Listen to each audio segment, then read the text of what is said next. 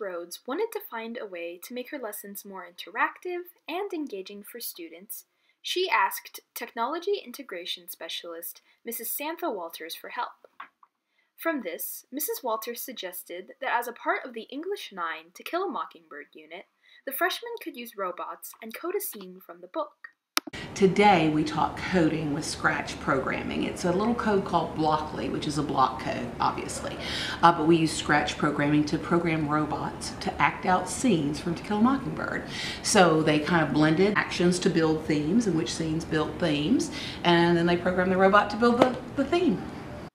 This lesson gave students the opportunity to experiment with code, something they do not normally get to do in the classroom. Um, yeah, that's usually the typical question is why are we doing this, Mrs. Rhodes?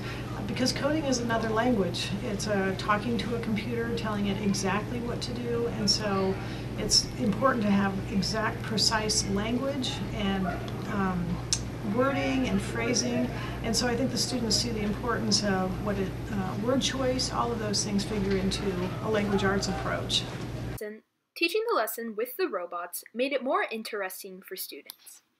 It was a different experience than what we're used to. We're not used to uh, being able to code in classes.